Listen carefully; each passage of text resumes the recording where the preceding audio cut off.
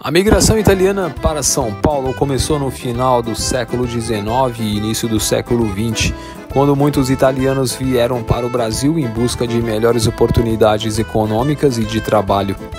Essa grande onda de imigração trouxe consigo muitos aspectos da cultura italiana, incluindo a gastronomia. Os italianos trouxeram suas receitas e ingredientes tradicionais que foram incorporados à culinária brasileira e, em particular, à culinária paulistana.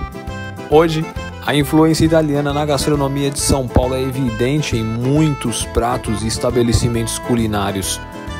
Há uma grande variedade de restaurantes italianos na cidade que servem desde as receitas mais tradicionais até as mais modernas e criativas.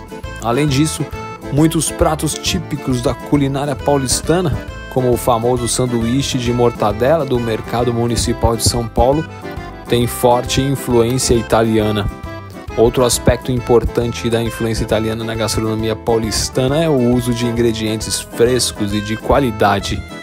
Os italianos trouxeram consigo a tradição da agricultura familiar e do cultivo de seus próprios alimentos, que hoje é uma prática comum em muitos estabelecimentos culinários da cidade. Em resumo, a migração italiana teve uma grande influência na gastronomia de São Paulo, tornando-a mais diversa e rica em sabores e tradições.